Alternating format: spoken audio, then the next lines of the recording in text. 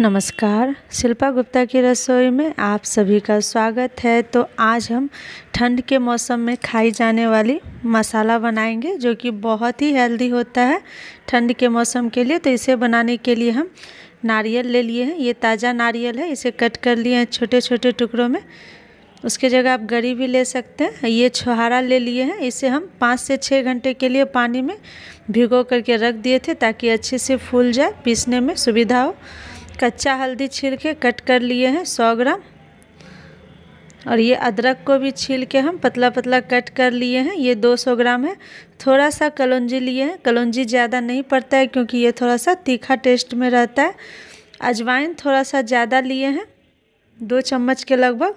और जीरा हम 100 ग्राम के लगभग लिए हैं। तो जीरा आप ज़्यादा डालिए। तो अब इन सारी चीज़ों को हम अच्छे से पीस करके तैयार कर लिए। नारियल, अदरक, अजवाइन, जीरा और कलौंजी एक ही में पीस लिए हैं। हल्दी अच्छे से पीस लिए हल्दी हल्दी भी अलग ही पीसना था और छुआरा पीस के अलग कर लिए हैं। अब एक बड़े साइज़ का कढ़ाई लेंगे, क्योंकि ये बहुत ज़्यादा उड़ता है, इसीलिए इसमें आप छोटे कढ़ाई का यूज़ ना करें। तो तेल डाल दिए सरसों का। उसके बाद हम आधा चम्मच मेथी दाना डालें। मेथी दाना जब अच्छे से जल जाएगा, तब हम इसमें हल्दी डालेंगे। सबसे पहले हल्दी डालना होता है, क्योंकि हल्दी में बहुत ही कच्चापन का फ्लेवर होता है। इसीलिए हल्दी डालकर पाँच मिनट इसे हम भून लेंगे लगातार चलाते हुए, ताकि हल्दी का कच्चापन दूर हो जाए। कच्चा हल्दी हमारे स्वास्थ्य के लिए बहुत ही लाभदायक होता है। उसके बाद हम अदरक पिसा हुआ डाल देंगे। सारी चीज़ों को हमें बहुत ही महीन पेस्ट तैयार करना है। मोटा बिल्कुल भी नहीं नहीं तो खाने में वो टेस्टी नहीं लगेगा।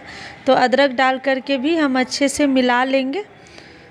जब अच्छे से मिल जाएगा तो थोड़ी देर बाद हम अजवाइन, जीरा और कलौंजी का भी पेस्ट डाल देंगे।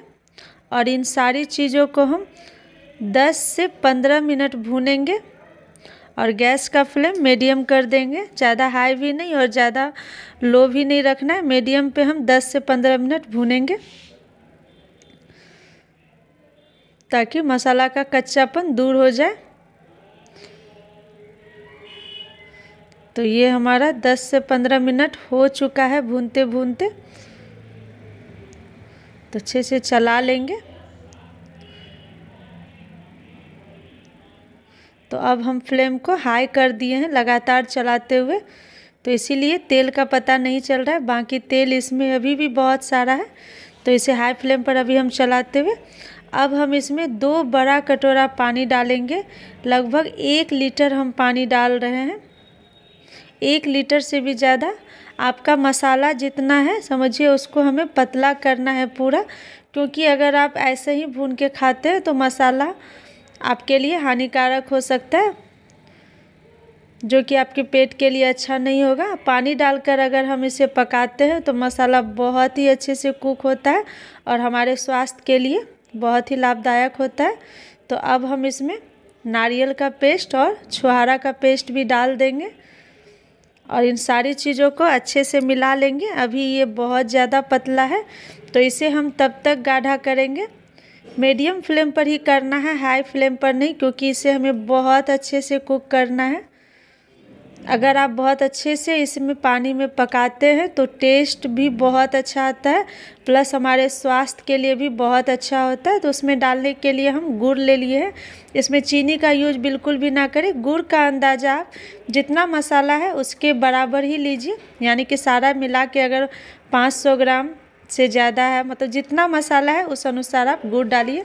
गुड़ का इसमें कमी नहीं कीजिए, नहीं तो कम मिठास अच्छा नहीं लगेगा। तो हम 500 ग्राम से ज़्यादा गुड़ डाले हैं तो उसे भी हम अच्छे से भूनते हुए, देखिए इस कलर का आ गया। जैसे डालते हैं गुड़ वगैरह तो बहुत ज़्यादा उड़ता है, इसीलिए हम उस टाइम का सूट नहीं किए हैं। तो अब ये बिल्कुल भी नहीं उड़ रहा है। तो जिस टाइम मसाला, वो पानी डालने के बाद बहुत ज़्यादा उड़ता है तो आप ढक ढक करके चलाएँ। तो उसके बाद हम बन चुका है तो ड्राई फ्रूट्स कुछ डाल देंगे, काजू किशमिश और अब हम साथ में ही घी डालेंगे। घी भी इसमें अच्छे से डालिए। घी स्टार्टिंग में नहीं डालें, क्योंकि बहुत ज़्यादा उड़ता है तो वो बर्बादी हो जाएगा। इसीलिए घी जब उड़ना बंद हो जाए मसाला, तब आप इसमें घी डालें। तो इसे भी हम पाँच से सात मिनट घी डालने के बाद भूनेंगे।